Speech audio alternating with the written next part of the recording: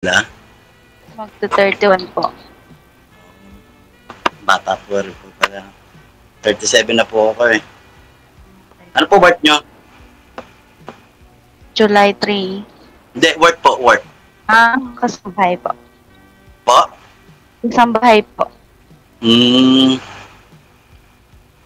Eh, Ikaw? taga? Taga saan po ba kayo?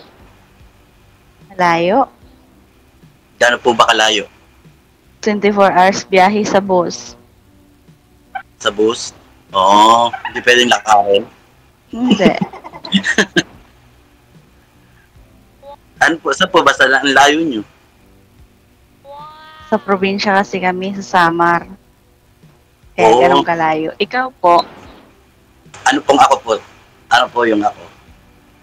ikaw, ano, taga saan ka at anong trabaho mo? Dito po ako sa Malaysia ngayon. Kababalik ko lang po. Ano, trabaho po? Welder po. Ah, welder. Okay. Application po ako. Eh, kaya sumali po ako kay Sir DJ. Boring eh. Saan po kayo dito sa Pinas? Ah, sa Pinas. Dito po ako sa Tagig. Ah, Taguig. Okay, kaya Manila lang. Magkapit bahay lang po tayo. Pasig lang po kayo. Opo. One ride lang po mula sa amin yun. Hmm. Eh, ilan taon po? 31 na po kayo. May asawa po kayo?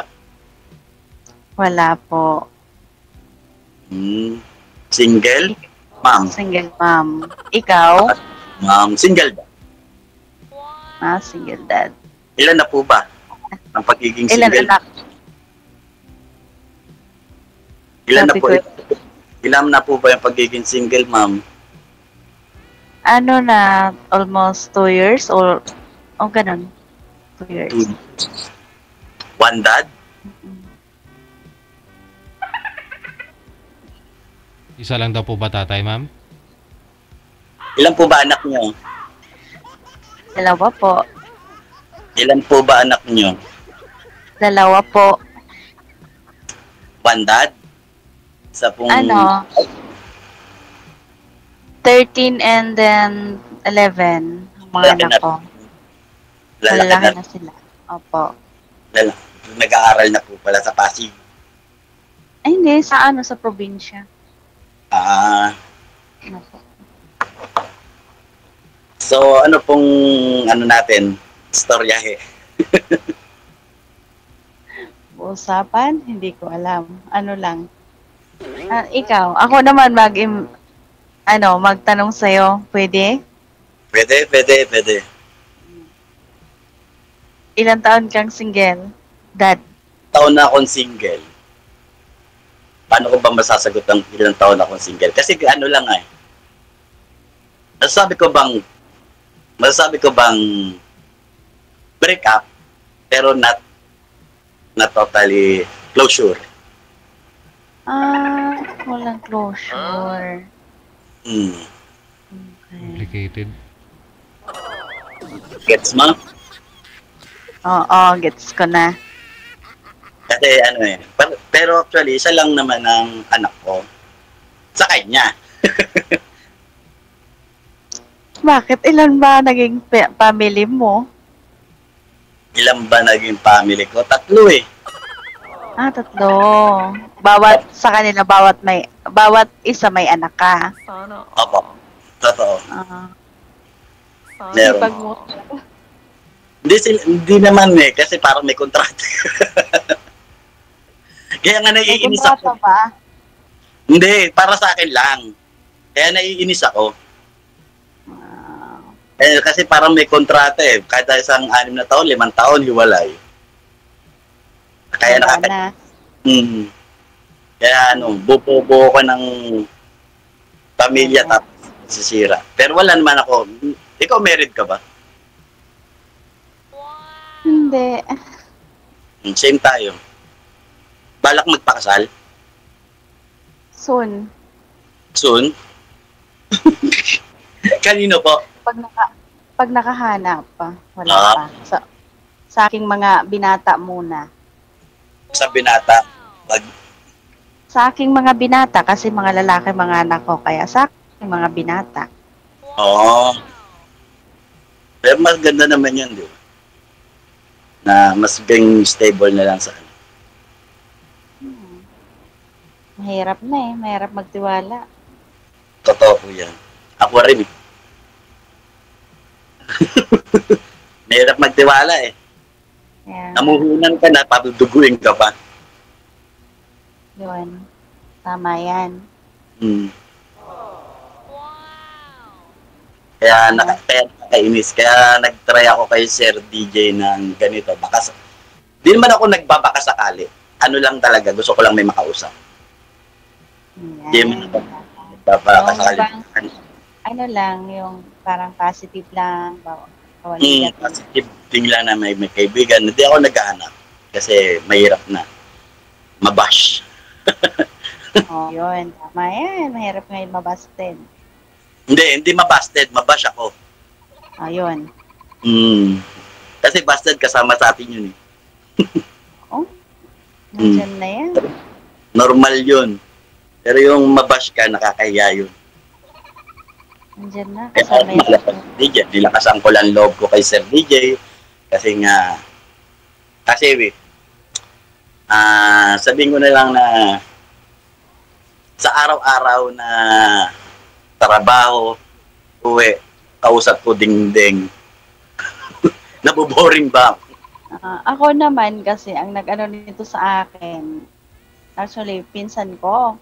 Kasi nasa ano siya, nasa ibang lugar siya. Pero dito rin sa Manila. Ano siya, lalaking pinsan ko. Sabi niya, insan may papakilala ko sa'yo. Sabi ko, sino naman? Kaibigan mo na asawa niya doon sa lugar na yon. Sabi ko, ay Diyos ko, natatakot na ako. Tapos totally pinakilala naman. Tapos ayun, nagkakilala kami. Tapos parang ano na siya, 45 years old. Mhm. Hindi. Ang gap namin is 14 years. 14. Hmm, sabi ko, okay lang. Tapos, pagkat ano, siya kasi hindi na nagparamdam, ganyan. Parang bula na naglaho. So, ayun, sabi ko, saan ano yan? Sabi ko, parang, hindi pa nga kami nagbi-meet, sabi ko, kasi, tapos di pa siya nag, di na siya nag, ano, chat, ganyan, ganyan. Tapos, ayun, sabi ni Pinsan, dito ka kay DJ, sabi niya. Mama, iharap niyo po yung camera niyo. Gusto ko po kayo makita na maganda. Ganda naman po kayo. eh. Bakit kayo naiiya? Ayusin niyo po yung buhok niyo. Yan. Kasi para ba ano kayo? Yan. Lumilipad siya si Boko dahil mahangin. Itali niyo po kasi. I-off nyo po muna yung electric fan nyo, ma'am. Maingay. Para gusto ko makita yung kagandahan niyo, ma'am. Baka malay niyo, matisod ako. Sa baba nyo lang ho ituon, Ah, wow. ma'am. Sa baba nyo lang ho ituon, ma'am, yung, yung ano, yung electric fan mo.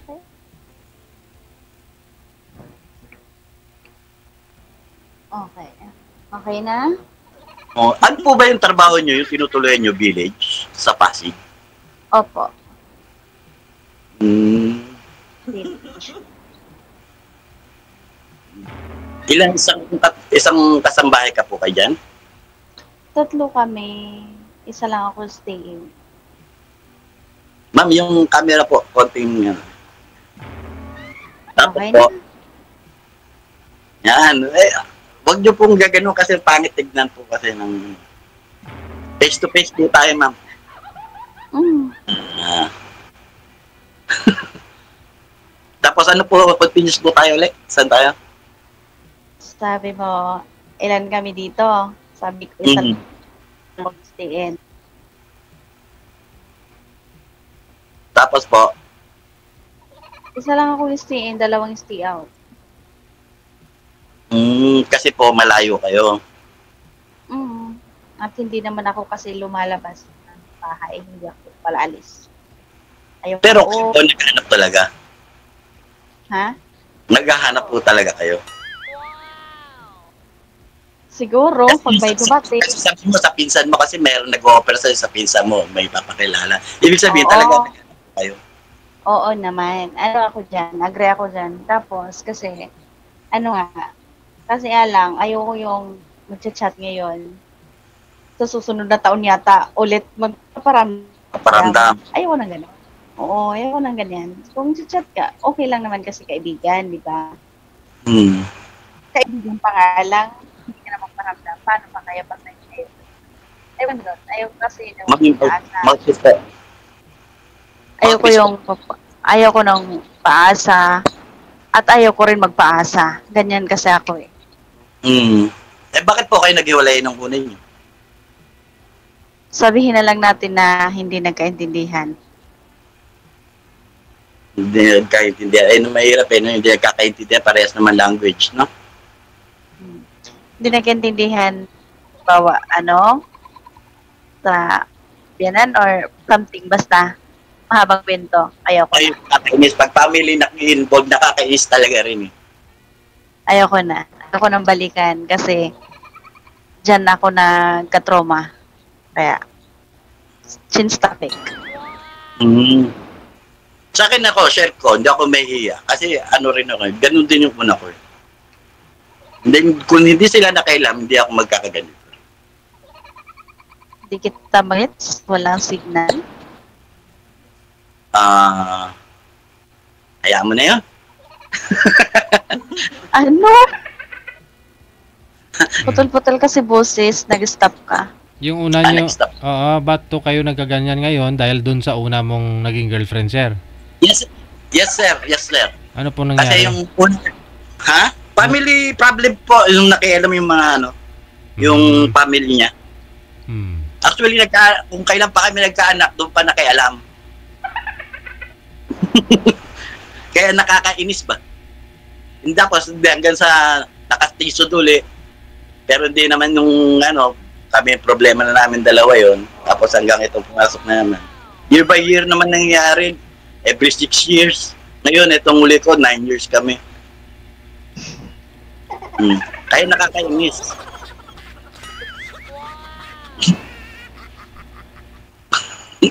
Gets niyo po? Oo, kaya lang, natawa ako parang may kontrata. Oo, para may kontrata talaga. Ikaw ba naman mag-isip ka ng dalawang beses? Nangyari, six years. Oo. Tapos ito tumagal. Okay naman to. Ang problema, siyempre, kung mga mas bata naman ako sa kanya, dinadaan sa pagkatanda. Ah, mas matanda siya sa'yo. Di ba baga, na, na, nakotongan siguro ako. Kaya, matras ako.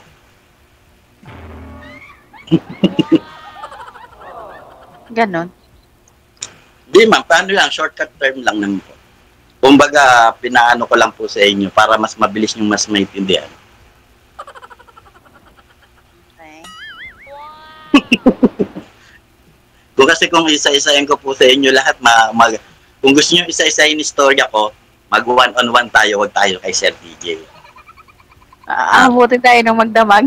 Hmm, natutulog ako hanggang alas 3, kala mo ba? Kasi ako hindi pwede kasi hindi ako pwede ganyan kasi gigising ako niyan 3 a.m.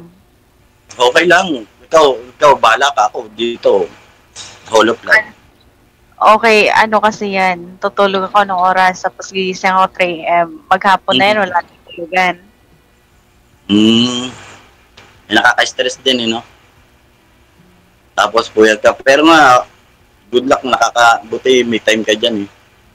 Meron naman, kahit papano. Hmm.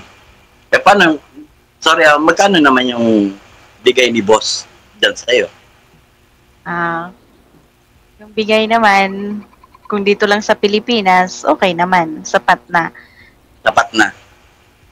Dito sa Pilipinas na sahod. Above minimum? Hmm? Above minimum? Hmm, naka ano naman na kami. Kasi agency ako galing sa ano, hindi naman ako right, direct sa kanila. eh, direct ka, ano. Oh, this maganda. Na, ano ka pa, parang nakakontrata ka. Six, every six months, contract. Tayo mo na lang mga ibang bansa? Ayaw ng Total. mga baby, ayaw ng mga baby ko. So, ganun din naman sitwasyon. Eh. Ayaw kasi one- ng mga baby ko kasi Sabi nila, maganda yan ma, dyan ka lang kasi mas malapit ka sa amin. Pre, kailan mo gusto umuwi, kakauwi ka kaysa nasa ibang ano ka na, hindi ka talaga kakauwi kasi malayo. Mm.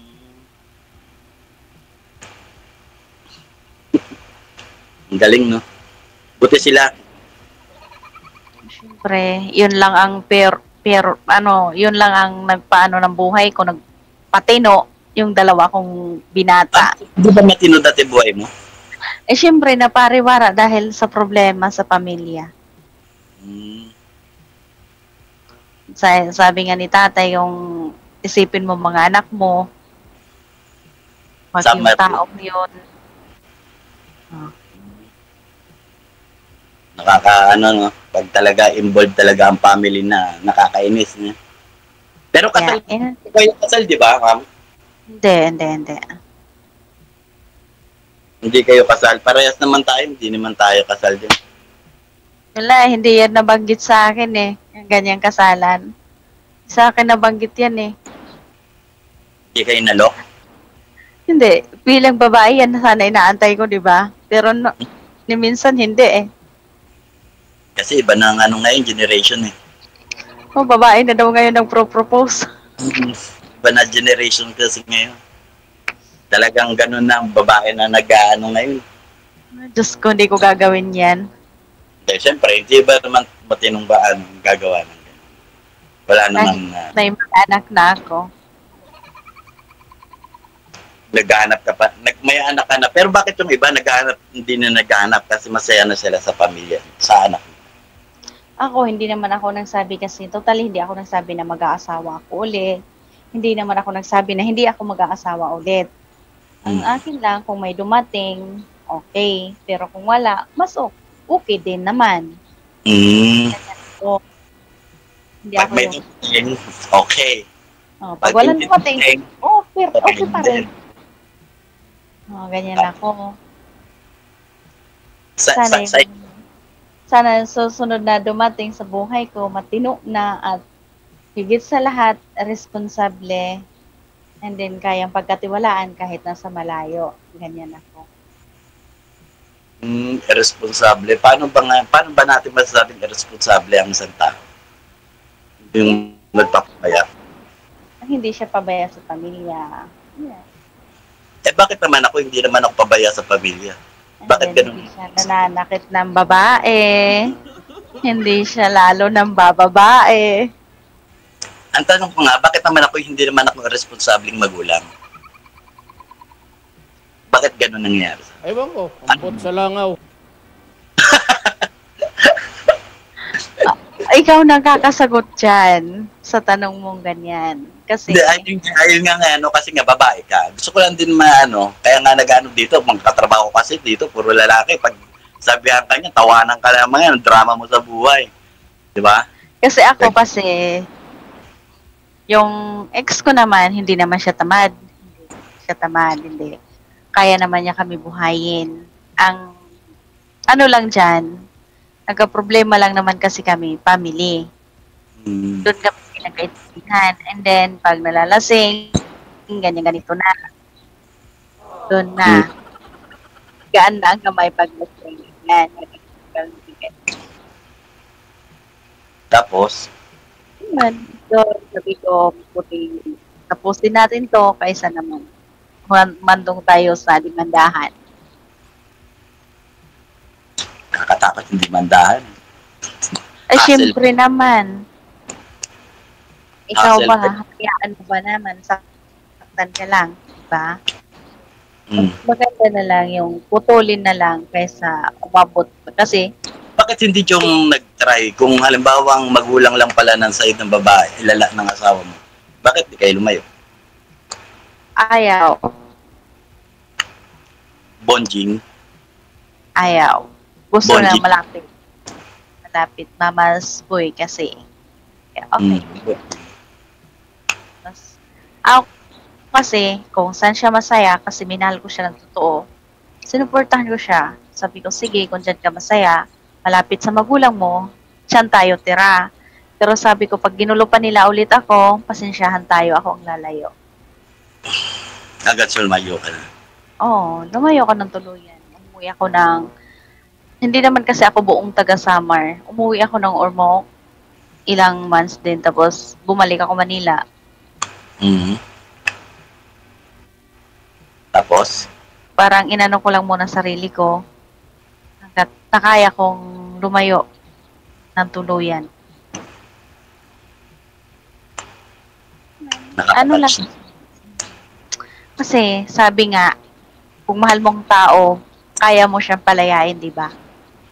Mhm. Yun. Tapos, ka, Yun, depende. Depende. Kaya kung mahal mo tayo, kaya mo siya pala. Pero depende pa rin sa sitwasyon. Oo naman. Maganda kasi pinag-uusapan, hindi yung hiwalay kayo dahil sa galit. Maganda kasi maghiwalay. Pinag-uusapan. Kami kasi Eh. naghiwalay, pinag-usapan namin. Ganun. Mm. Buti nga kayo nag-usap eh. Hindi, nakipag-usap Wala. talaga ako sa kanya. Walang usap-usap. Kumbaga, ang umi-ere na lang sa amin ngayon, pride. Ah, wala. Ayoko ng ganon. Pataasan na lang kami ng ihi. Kumbaga, first time ko lang naman sa, sa kanya ginawa yun. Ngayon lang. Actually, ngayon lang. Sa ilang taon namin ngayon ko lang ginawa yung tumaas ang ihi ko. Hmm. Ayoko ng ganyan. Kasi ano eh, kumbaga, para sa akin, nilunok ko na lahat, time na yon Parang hindi ko na kayang sikmurain pa. Sumuko ka na talaga. Mm. Kumbaga, ano na, parang yung kailangan ko ng kalusin to. Ako na yung gumawa ng kakalusin na ganun. Kasi parang ano, na bigyan ko bumitaw. naman sinabing, ano, ah paano ko ba sasabihin? Parang di ko sinabing, bigyan ko lang din siya ng lesson na kung talagang kami, kung magtitiisa kami dalawa, o sige lang, okay lang din. Okay lang, basta support din ako sa bata. Support pa rin ako sa bata. Pero yung, ano, kung talagang di ko kayang, ano yung, ano niya, ego niya, mabali yung ego niya, eh, siyempre, ngayon pa lang ako magkaka-ego. Mm, ano, kasi nga, dahil nga ganun nga, sa ano namin.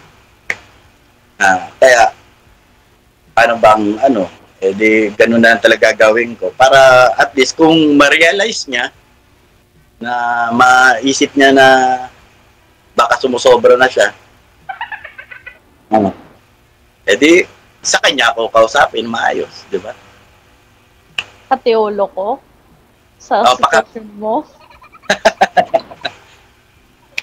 Kaya nga sabi ko naman sa iyo, bago pa lang magsimula tayo, hindi naman ako talaga mag Gusto ko lang may makausap, gusto ko lang may ma-open ng storya. Story mo. Hindi naman sa talagang storya. Storya natin kasi tayong dalawa eh. Gusto ko lang na, May share yung story mo, story ko. Ayan.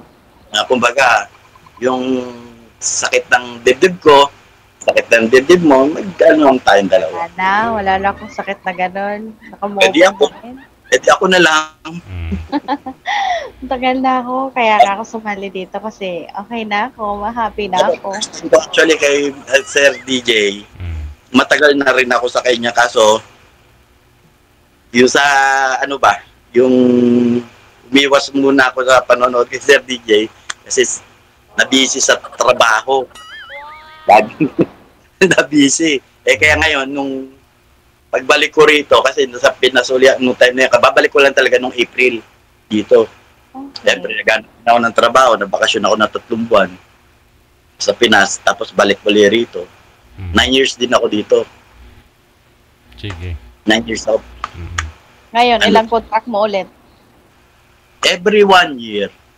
Ah, akala ko 9 years ulit. Eh, di- pero depende na lang talaga sa akin kung gusto kong umuwi o hindi. Sige, sige. Na-connected na po kayo sa isa't isa.